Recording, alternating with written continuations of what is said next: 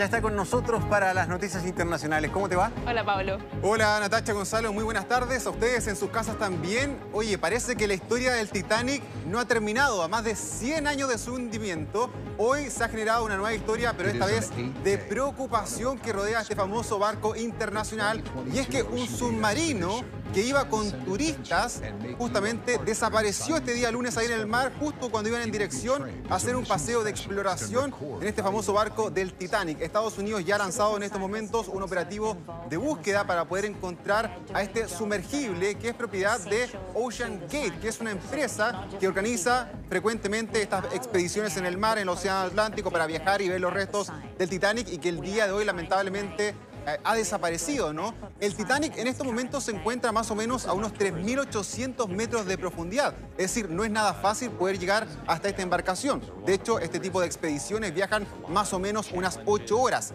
Dos horas y media de bajada, luego un tiempo ahí en el mar para que la gente pueda ver finalmente los restos de este barco y luego la operación de, de subida. Es decir, no es tan eh, fácil poder llegar a este lugar y lamentablemente esta empresa que es estadounidense ha perdido el contacto con tierra, lo que ha generado esta enorme operación de búsqueda ahí en las cercanías de Boston. ¿Cuántas personas iban en el submarino? La empresa no ha querido decirlo todavía. Sin embargo, siempre en este tipo de operaciones son cerca de una veintena, aparte de una tripulación más la gran cantidad de turistas, en un viaje que no es para nada barato. ¿ah? Dicen que una expedición de esta con por lo menos siete días, donde viajan a distintas partes, puede llegar a costar unos 250 mil dólares. Es decir, cerca de 200 millones de pesos chilenos por persona.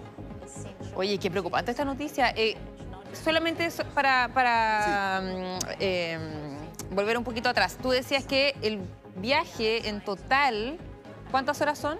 Ocho. Ocho. ¿Hace cuánto tiempo pasó esto? Pasó durante esta mañana cuando había salido la, la expedición Además, ellos tienen una serie de seguridad. Nosotros hemos estado viendo ahí, buscando eh, la empresa, la página web, los YouTube, los videos que ellos van subiendo. Y tienen todo organizado. Van con sistemas de seguridad, con expertos, con analistas, con miembros de tripulación, para poder hacer esta travesía que es compleja. No es fácil poder llegar 3.800 metros de profundidad en naves que obviamente están muy preparadas. Además, ellos dicen que, por ejemplo, tienen un sistema de comunicación con Starlink, que es esta famosa compañía de Elon Musk, que también genera eh, un nivel de comunicación mucho más em, extenso ¿no? para operaciones de riesgo y en este caso, pese a que contaban con todas estas tecnologías, en estos momentos no se han podido comunicar con ellos. Sabemos que el tiempo debajo del mar es eh, perentorio, ¿no? Es urgente y por lo tanto la gente está inmediatamente buscando finalmente que ojalá este submarino aparezca. Ojalá. Bueno, lo que pasa es que desde mi punto de vista, que cuando pasan algún accidente, por ejemplo, con los aviones,